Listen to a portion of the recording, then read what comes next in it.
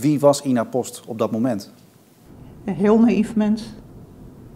Een zorgzaam, naïef mens.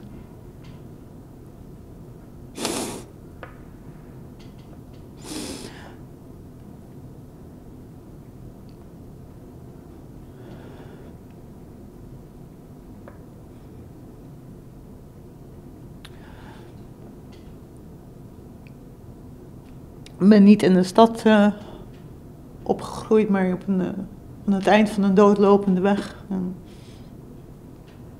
ja, wat mensen zeiden, dat, dat we dat geloofden. Je, je hielp elkaar. Het was, was een zorgzame eh, samenleving. Mevrouw Post, eh, van harte gefeliciteerd. Het heeft 24 jaar geduurd voordat u deze vrijspraak hebt kunnen horen. Hoe voelt u zich nu? Ja, ik heb nog moeite om, om, om het te geloven dat het gezegd is. Uh, zo lang eh, eh, hoop je wel, maar je verwacht eigenlijk niks meer. En eh, heel langzaam begint het nu een beetje, een beetje door te druppelen dat ik nu echt vrij ben. Dacht u tijdens het voorlezen van de vrijspraak, dit wordt een vrijspraak? Nee, ik heb heel lang gedacht van dit gaat fout. Ze hebben het nog niet begrepen. Maar uiteindelijk, eh, ze hebben het wel begrepen. Was het een vreugdevol moment? Ja, Dus ik ben heel blij eh, dat het aan, eh, aan dit gevecht een eind is. Maar verwerkt is het nog niet.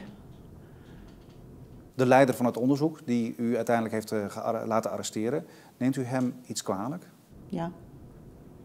Ik neem ze kwalijk dat ze, dat ze niet eerlijk zijn. Dat ze dingen niet gesignaleerd hebben. Ehm, ik heb heel vaak ook, ook gezegd van zo dom kun je niet zijn dat je niet ziet dat er iets fout zit. Hoe kwam u tot die bekentenis? Omdat ik eh, van ze af wilde. Eh, de, de sfeer was niet, daar was voor mij niet mee om te gaan. Hoe zat u daar in die verhoorkamer?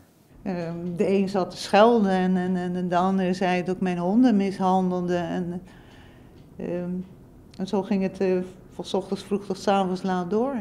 Er is zelfs een verhoor geweest dat er een eh, nou, met, met, een dik touw achter zich liep en vroeg om een, eh, om een formulier met een bepaald nummer waarvan ik denk... Maar ondertussen ook, ook tegen je zeggen van eh, mevrouw Koolstee zit op je schouder en eh, als je straks aan de hemelpoort staat dan... eh, allemaal dat soort dingen. Dat, dat, dat allemaal op een zolderkamertje. Dat je denkt van dit is een, een, een spookachtig eh, verhoor. Zal ik er nu naartoe ter- terugkijken? Wie was Ina Post op dat moment? Ja, wat mensen zeiden, dat, dat we dat geloofden. Je, je hielp elkaar. Het was, een zorgzame eh, samenleving en, en niet een, een, een harde wereld waar ik in opgegroeid ben. En daar kwam ik in een eh, hele harde wereld terecht. Politiebureau, ook later de gevangenis, waar je ontzettend voor jezelf moet vechten.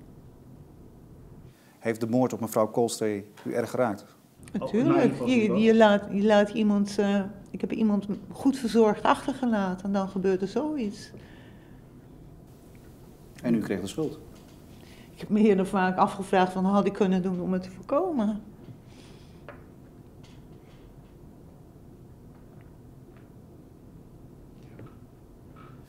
Nu vraagt natuurlijk iedereen zich af. Dit is de derde veroordeling in acht jaar tijd. Waarbij blijkt dat iemand op een valse bekentenis is veroordeeld. Zo eh, heeft de rechter in ieder geval bepaald.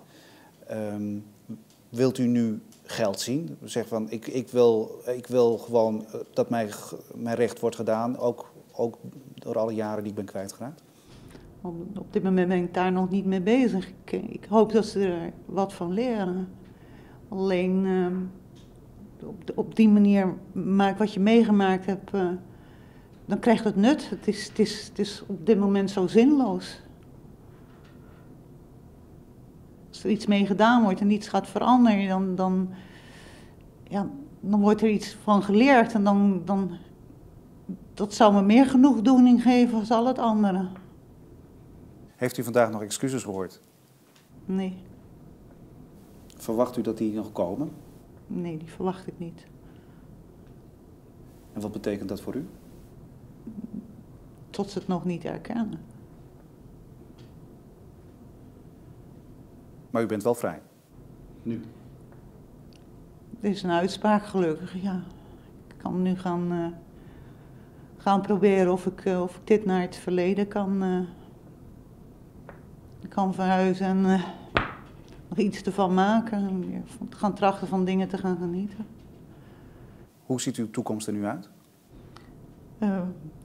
voorzichtig gaan leren om, om weer van dingen te gaan genieten die ik heel lang niet meer gedaan heb. Ik heb, ik heb me echt uh, heel erg opgesloten en afgesloten. Um, en alleen maar met één ding bezig geweest om, om dit opgelost te krijgen. Omdat er op een andere manier uh, in mijn gevoel niet mogelijk was om, om nog ergens van te genieten. Ik weet dat iemand niet meer veroordeeld kan worden, maar het zou, als er werkelijke daden gevonden wordt, dat zou me passen ja, voor een heleboel, in een heleboel mensen ogen echt vrijmaken.